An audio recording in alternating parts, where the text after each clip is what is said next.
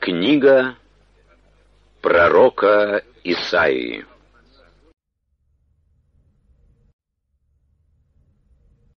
И будет, когда Господь совершит все свое дело на горе Сионе и в Иерусалиме, скажет, «Посмотрю на успех надменного сердца царя сирийского и на тщеславие высоко поднятых глаз его».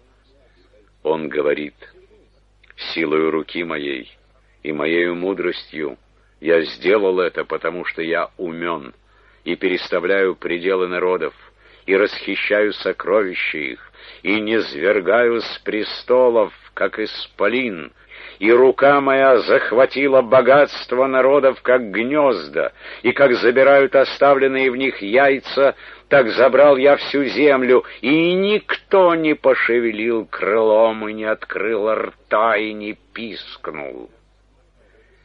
Величается ли секира пред тем, кто рубит ею? Пила гордится ли пред тем, кто двигает ее? Как будто жезл восстает против того, кто поднимает его, как будто палка поднимается на того, кто не дерево.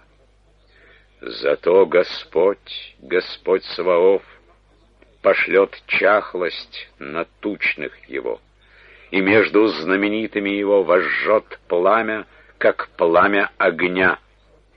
Свет Израиля будет огнем, и святые его пламенем, которое сожжет и пожрет терны его и волчцы его в один день.